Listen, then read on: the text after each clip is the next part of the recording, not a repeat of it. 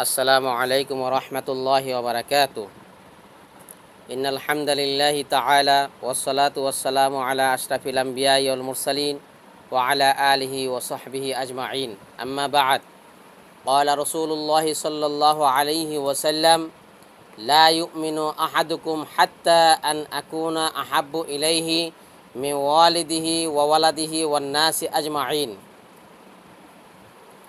প্রিয় শিক্ষার্থী বন্ধুগণ তোমরা কেমন আছো? আশা করি সবাই ভালো আছো। আমি আব্দুল কাইম ইসলাম শিক্ষা প্রভাষক। তোমাদেরকে আমি আজকে তোমাদের প্রিটেস্ট পরীক্ষার দ্বিতীয় অধ্যায়ের যে তিন নং সাজেশনের তিন নং সৃজনশীল, অর্থাৎ দ্বিতীয় অধ্যায়ের তিন নং সৃজনশীল নিয়ে আমি আলোচনা করছি।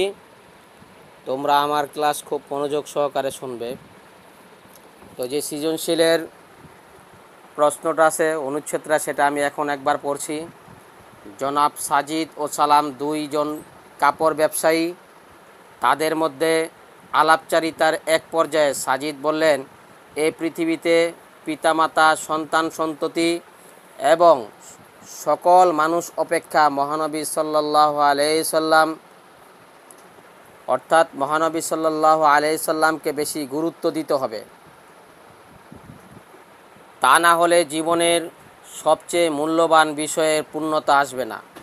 পৃথিবীতে আমাদের আগমনই অর্থহীন হয়ে যাবে। অপরপক্ষে জনাব সালাম বললেন এই পৃথিবীতে এমন অনেক লোক আছে যারা মহানবী সাল্লাহ আলাইসাল্লামকে লোক দেখানোর জন্যই ভালোবাসে, কিন্তু অন্তরে গভীরভাবে অস্বীকার করে। তাহলে আমাদেরকে যেই আমরা বিষয়গুলো শুনলাম, বিষয়টা শুনলাম, এর মধ্যে দুটা জিনিস আমরা দেখতে পেলাম। অর্থাৎ একদিকে আমাদের সবার থেকে অর্থাৎ পিতা, মাতা, সন্তান, সন্ততি, আত্মীয় স্বজন সবচেয়ে বেশি গুরুত্ব দিতে হবে আমাদের প্রিয় নবী হজরত মোহাম্মদ সাল্লাহ আলাইসাল্লামকে মূলত তার আদর্শকে। আবার উপরে উপরে তাকে ভালোবেসে অন্তরে তার সুন্নত, তার আদর্শকে অস্বীকার করলে চলবে না, সেই কথাও বলা হয়েছে। এ ধরনেরও লোক আছে যারা মুখে মুখে ভালোবাসে প্রকৃতপক্ষে রসুল সাল্লাহ আলাইসাল্লামের আদর্শ, তার জীব, রেখে যাওয়া যে বিধান, সেই বিধান কায়েম করতে গেলে এক শ্রেণির মানুষ মুখে মুখে বাধা দেয়, এমনকি কাজে কর্মে বাধা দেয়। তো এদের ব্যাপারে এখানে আলোচনা করা হয়েছে। তো এখানে চারটি প্রশ্ন, ক, খ, গ গহ প্রথম নাম্বার প্রশ্ন হচ্ছে, মতন কাকে বলা হয়? হাদিসের যে মূল বক্তব্য সেই মূল বক্তব্যকে মতন বলে। হাদিসের মূল বক্তব্যকে কি বলা হয়? মতন বলা হয়। খ নাম্বার প্রশ্ন সৌম আমার জন্য, আমি এর প্রতিদান দেব। আবার গ নম্বর বলা হয়েছে, উদ্দীপকে উল্লেখিত জনাব সাজিদ কিসের প্রতি ইঙ্গিত করেছেন? ব্যাখ্যা চাওয়া হয়েছে। গহ নাম্বার প্রশ্ন, উদ্দীপকে জনাব সালামের কথায় কাদের চিত্র ফুটে উঠেছে, বিশ্লেষণ চাওয়া হয়েছে। তাহলে আমরা এখানে চারটি প্রশ্ন এখানে দেখতে পাচ্ছি। তো ক নাম্বার প্রশ্নের উত্তর আমরা আবার বলছি যে হাদিসের মূল বক্তব্যকে মতন বলা হয়। অর্থাৎ মতন কাকে বলে? উত্তর হলো হাদিসের যে মূল বক্তব্য, তাকে মতন বলা হয়। খ নাম্বার প্রশ্ন সৌম আমার জন্য, আমি এর প্রতিদান দেব। যেমন হাদিস আছে আসমুলি ও আনা আজিজি। আরেক জায়গাতে আছে আসমুলি ও আনা আজিজি বিহি। তাহলে এখানে এই কথাটি আল্লাহ তালা বলেছেন, সমস্ত এবাদত বন্দীগীর যে পুরস্কার আছে, এটা ফেরেস্তাদের মাধ্যমে দেওয়া হবে। আমাদের প্রতিদান কিন্তু সৌম সৌমের কিছু বিশেষত্ব আছে, যা আল্লাহর সিফাতের সাথে মিল আছে। এই জন্য আল্লাহ পাক নিজেই এর প্রতিদান দিবেন। সৌম আমার জন্য আমি আর প্রতিদান দিব। এটি মহানবী সাল্লাহ সাল্লামের বাণী। এই হাদিসে সৌমের বিনিময় কি পরিমাণ দেওয়া হবে তা উল্লেখ করা হয়েছে। মূলত এর মাধ্যমে রোজাদারদের বিশেষভাবে মূল্যায়ন করা হয়েছে। কেননা, রোজা এমন এক আবাদত যা প্রদর্শন করা যায় না। এটি শুধু আল্লাহর জন্যই হয়ে থাকে। তাই আল্লাহর সন্তুষ্ট হয়ে রোজাদারকে রোজার বিনিময়ে সওয়াব দান করবেন। এই জন্য বলা হয়েছে, আদম সন্তানের প্রতিটি আমলের প্রতিদান দশ থেকে সাত শত পর্যন্ত পুণ্য বাড়িয়ে দেওয়া হবে। আল্লাহ বলেন, শুধু সৌম ব্যতীত, নিশ্চয়ই সৌম আমার জন্য, আর আমি এর প্রতিদান দিব। এটি বোখারি ও মুসলিম শরীফের হাদিস। অর্থাৎ সৌমের প্রতি কল্পনাতীত সব আল্লাহ পাক দিবেন। যা শুধু আল্লাহ তালাই জানেন ভালো। তাহলে আরেক জায়গায় বলা হয়েছে যে যে সৌম আমার জন্য আর আমি নিজেই এর প্রতিদান। অর্থাৎ আল্লাহ তাআলা যদি নিজেই কেউর হয়ে যায়, তাহলে তো তার কোনো কথাই নাই। তাহলে হাদিসের মধ্যে আমরা দেখতে পাচ্ছি যে রোজা শুধু আল্লাহ পাক রোজার কিছু সিফাত আছে, যেমন সুবেহ সাদিক থেকে সূর্যাস্ত পর্যন্ত বান্দা আল্লাহর সন্তুষ্টির জন্য কোনো কিছু খায় না। ইচ্ছা করলে পালিয়ে পালিয়ে খেতে পারে, কিন্তু তা করে না। কিন্তু আল্লাহ পাক এই সমস্ত সিফাত, অর্থাৎ না খাওয়ার সিফাত আল্লাহ রবুল আলমিনের। এই সিফাতের কারণে আল্লাহ পাক তাকে প্রতিবান, প্রতিদান নিজে হাত, হস্তে তাকে দান করবেন।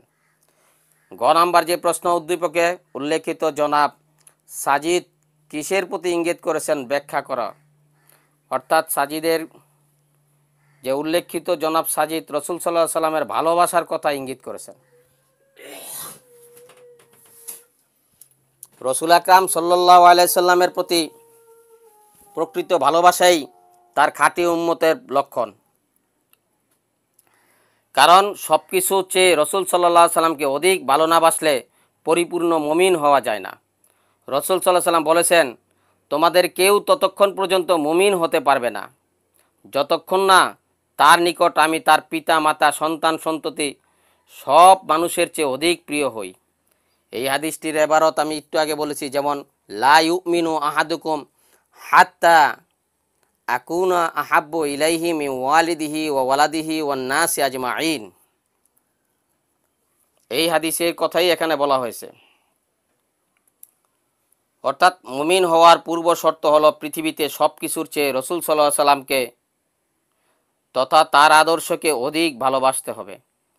মাতা, পিতা, সন্তান, সন্ততি, আমাদের অত্যন্ত আপনজন। অন্যান্য মানুষ যেমন বন্ধু বান্ধব পাড়া প্রতিবেশী, আত্মীয় স্বজন, এরাও আমাদের খুবই কাছের। আমরা এদের সবাইকে ভালোবাসি, কিন্তু এদের প্রতি আমাদের যত ভালোবাসাই রয়েছে, তার চেয়েও বেশি ভালোবাসা থাকতে হবে রসুল সাল্লাহ আলাইসাল্লামের প্রতি। তার দেখানো পথ ইসলামের প্রতি। তাহলেই প্রকৃত মুমিন হওয়া যাবে, নতুবা প্রকৃত মুমিন হওয়া যাবে না। জনাব সাজিদ এ বিষয়টি গুরুত্ব আরোপ করেছেন।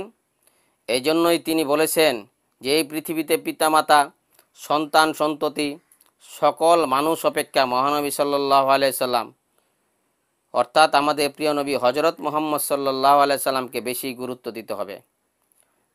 তা না হলে জীবনের সবচেয়ে মূল্যবান বিষয় ইমানের পূর্ণতা আসবে না। পৃথিবীতে আমাদের আগমন অর্থহীন হয়ে যাবে।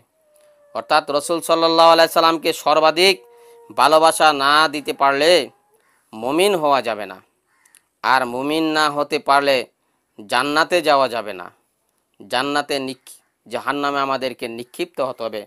সুতরাং আমরা এখানে বলতে পারি সাজিদের বক্তব্য বাস্তবিকেই কি যথার্থ? তাহলে আমরা এই হাদিস থেকে এটাই প্রতিমা, প্রতীয়মান হয়েছি যে যে আমাদের সবচেয়ে বেশি গুরুত্ব দিতে হবে পৃথিবীতে আগমন করেছেন যিনি আমাদের আদর্শ নিয়ে আসছেন, যার কারণে আমরা আদর্শিক মুসলমান, সবচেয়ে দামি মানুষ, জান্নাতের আকাঙ্ক্ষাদারী অর্থাৎ উম্মতি মোহাম্মদীর অধিকার হয়েছি। সেই প্রিয় রসুলকে যিনি আমাদের জন্য পৃথিবীতে অনেক কিছু করে গেছেন। ইসলামের জন্য অনেক কিছু করে গেছেন। তাকে অবশ্যই আমাদের সবচেয়ে বেশি গুরুত্ব দিতে হবে।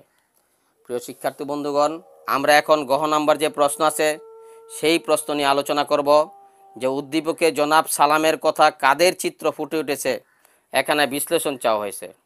উদ্দীপকে জনাব সালামের কথায় মুনাফিকদের চিত্র ফুটে উঠেছে।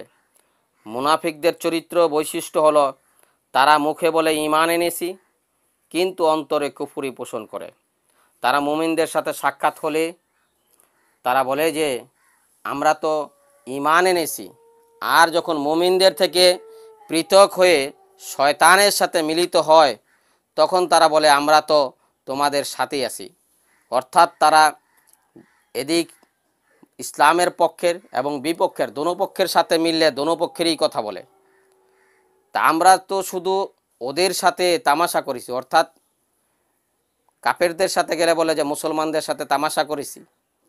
তাদের ভাষা, তাদের মুখের বোধ কথা, স্থান চেঞ্জ হলে কথাও চেঞ্জ হয়ে যায়।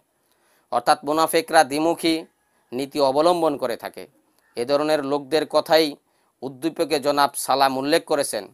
তিনি বলেছেন, এই পৃথিবীতে এমন লোক আছে যারা মহানবী সাল্লাহ আলাইসাল্লামকে লোক দেখানোর জন্য ভালোবাসে। কিন্তু অন্তরের গভীরে তাকে অস্বীকার করে। আর রসুল সাল্লাহ সাল্লামকে অস্বীকার করার অর্থ হলো আল্লাহকে অস্বীকার করা, ইসলামকে অস্বীকার করা। এটা মুনাফিকদের চরিত্র। সুতরাং বলা যায়, জনাব সালামের কথা মুনাফিকদের চিত্র ফুটে উঠেছে। তাহলে আমরা দেখেছি, আবদুল্লাহ বিন উবাই সহ অনেক কাফেররা যারা ইসলামের যে যখন যুদ্ধ বিভিন্ন কাজে রসুল সাল্লাহ সাল্লামের পাশাপাশি থাকতেন। পক্ষান্তরে যারা, তারা যখন রসুল সাল্লাহ সাল্লাম থেকে দূরে সরে যেতেন, তারা তখন কাফেরদের সাথে, কোরাইশদের সাথে মিশে ইসলামের ক্ষতি করতেন। আল্লাহ পাক তাদের ব্যাপারে খুব সতর্ক করে দিয়েছেন। ইন্নাল মুনাফিকিন ফিদ্দারখিল আসফালে মিনান নার। অর্থাৎ মুনাফিকদের স্থান হবে যে জাহান নামের সর্বনিম্ন স্তরের, সেই স্তরে তাদের স্থান। কাজে আমাদেরকে ইসলামের ব্যাপারে খুব সতর্ক থাকতে হবে।